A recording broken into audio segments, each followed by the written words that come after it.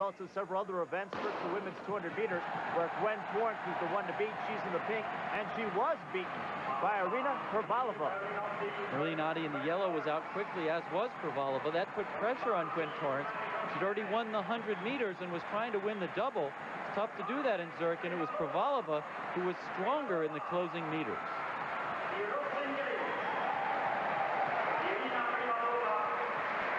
And there's the winner of the women's 200 meters, Gwen Torrence.